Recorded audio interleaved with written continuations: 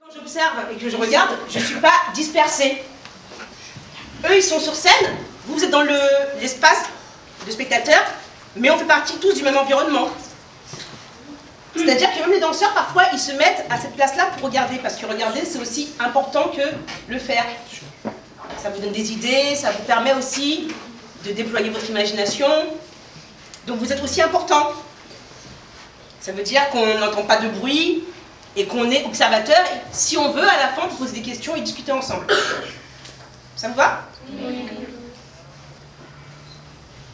Ok. 3.